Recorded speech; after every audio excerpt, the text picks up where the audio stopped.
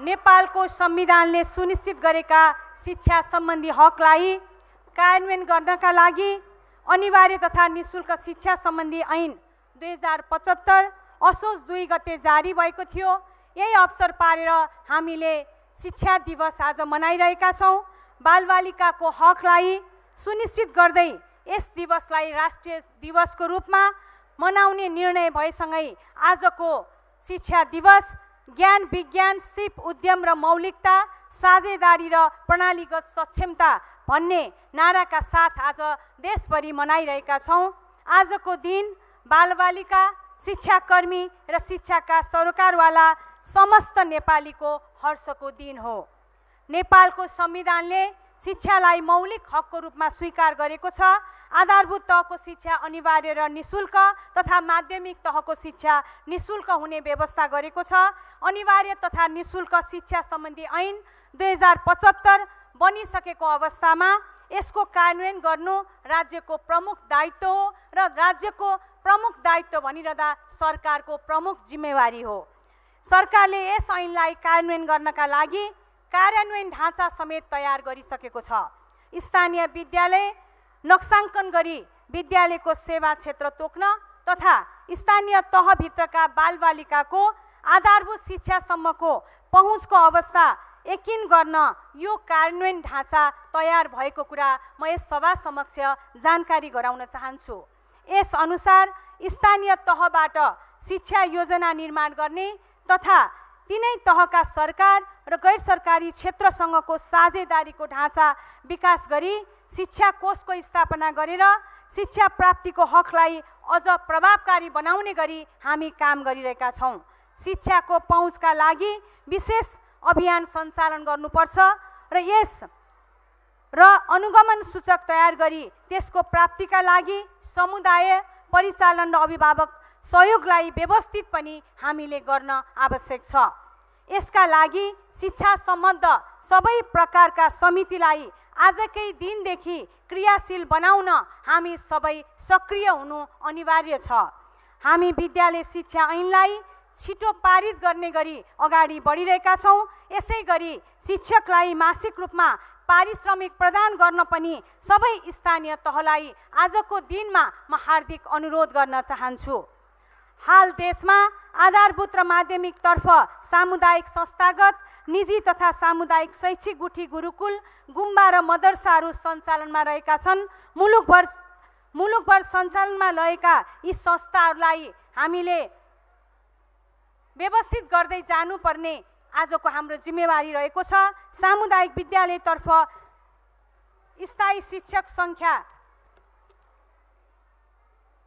चौरानब्बे लाख सात सय पन्चा उन्साठी र अस्थायीतर्फ अठार हजार तिन सय छयत्तर राहततर्फ त्रिचालिस हजार बयालिस र विशेष शिक्षातर्फ चार हजार एक सय नौ रहेको अवस्था हामीसँग छ। सामुदायिक विद्यालयहरूमा आज आजसम्म खास गरी एक लाख अडसट्ठी हजार आठ सय सैँतिस कक्षा कोठाहरू रहेका छन्। विद्यालयको तह विद्यार्थी सङ्ख्या र सञ्चालित कक्षाका आधारमा एक्काइस हजार दुई लाख अठार हजार एक सय उनातिस कक्षा कोठाको आवश्यकता रहेकामा हामीले यी कक्षा कोठाहरू बनाउनु पर्ने जिम्मेवारी पनि हामीसँग रहेका छन्। हाल मुलुकभर चालिस हजार छ सय चौरासी बाल विकास केन्द्रहरू रहेका छन्। त्यसै गरी पाँच सय छै छैसठी बाल विकास केन्द्र परम्परागत र धार्मिक विद्यालयमा रहेका छन्। नेपालको संविधानको धारा छब्बिसमा खाद्य सुरक्षा तथा खाद्य सम्प्रभुतालाई नागरिकको मौलिक हकको रूपमा लिएको छ भने धारा एकाउन्नमा कृषि क्षेत्रमा लगानी अभिवृद्धि गर्दै खाद्य सम्प्र सम्प्रभुताको मान्यता अनुसार जलवायु र माटो अनुकूलको खाद्यान्न उत्पादन प्रोत्साहन गरी खाद्यान्नको दिगो व्यवस्थापन र आपूर्ति गर्न सुरक्षा प्रभावकारी वितरण गर्ने नीति रहेको छ। उक्त हकको कार्यान्वयनको लागि खाद्य सम्प्रभुता ऐन दुई हजार पचहत्तर कार्यान्वयनमा छ। अनिवार्य तथा निशुल्क शिक्षा सम्बन्धी ऐन दुई हजार पचहत्तरको दफा पच्चिसले तोकिएको मानव विकास सूचकाङ्कभन्दा तर रहेका समुदाय विपन्न वर्ग अपाङ्गता भएका नागरिकका बालबालिकाको शिक्षाको निरन्तरताका लागि स्थानीय तह मार्फत दिवा खाजा उपलब्ध गराउने लेखिएको छ उल्लेख गरेको छ। स्थानीय सरकार सञ्चालन ऐन दुई हजार चौ पचहत्तरले चौहत्तरले आफ्ना क्षेत्राधिकारभित्रका आधारभूत पोषण सम्बन्धी नीति कानुन मापदण्ड र योजनाको कार्यान्वयन गर्ने व्यवस्था समेत गरेको छ। राष्ट्रिय शिक्षा नीति दुई हजार छयत्तरले आर्थिक रूपले विपन्न दुर्गम क्षेत्र र मानव विकास सूचकाङ्कमा पछि परेका क्षेत्र र वर्गलाई प्राथमिकतामा राख्दै स्थानीय तहले नै क्रमशः निशुल्क दिवा खाजा उपलब्ध गराउने उल्लेख गरेको छ। पोषण मैत्री स्थानीय तह कार्यान्वयन निर्देशिका दुई हजार अठहत्तरले स्थानीय तहको शासकीय प्रबन्धमा पोषणको विषयलाई मूल प्रभावीकरण गर्न पोषण मैत्री स्थानीय शासनको अवधारणा समेत अगाडि सारेको छ। अहिले चौहत्तर जिल्लाका बाल विकासदेखि पाँचसम्मका सबै तिस लाख विद्यार्थीलाई एक वर्षमा औसत एक सय अस्सी दिनका लागि प्रतिदिन रु पन्ध्रका दरले दिवा खाजा वितरण गरिएको वितरण गर्ने नीति हामीले लिएका छौँ तर यो अपर्याप्त छ। डोल्पा जुम्ला मुगु कालीकोट र हुम्ला गरी पाँच जिल्लामा प्रतिदिन पच्चिसका दरले वितरण गरिएको छ। बाँकी तिन जिल्लामा विश्व खाद्य कार्यक्रमबाट दिवा खाजाको व्यवस्थापन भइरहेको छ। दिवा खाजाको यो अव व्यवस्था अपुरो छ। यसलाई अझै व्यवस्थित बनाउन र विद्यालयमा रैथाने र पोषणयुक्त दिवा खाजाको व्यवस्था गर्न स्थानीय उत्पादनमा आधारित पोषणयुक्त विद्यालय दिवा खाजा नेपाल सरकारले अहिले प्रारूप तयार गरेर सुरु गर्ने योजना बनाएको कुरा पनि म अनुरोध गर्न चाहन्छु। माध्यमिक तहको शिक्षा प्रदान गर्ने शिक्षण संस्था एघार हजार चार सय बयानब्बे रहेका छन् भने सात हजार दुई सय सोह्रवटा सामुदायिक विद्यालयहरू छन्। विषयगत दरबन्दी बढी भएका विद्यालयमा वर्ग र विद्यालय सङ्ख्या आदि आधारमा दरबन्दीको व्यवस्था गर्ने हो भने माध्यमिक तहमा अझै हामीलाई सोह्र हजार छ्यालिस दरबन्दी आवश्यक देखिन्छ।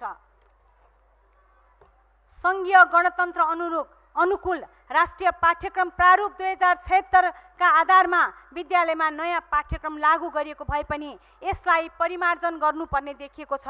धेरैजसो पाठ्यक्रममा विषयवस्तु बढी भएका कारण विद्यार्थीले तोकिएको क्रेडिट आवरमा पाठ्यवस्तु सिक्न सकेका छैनन्।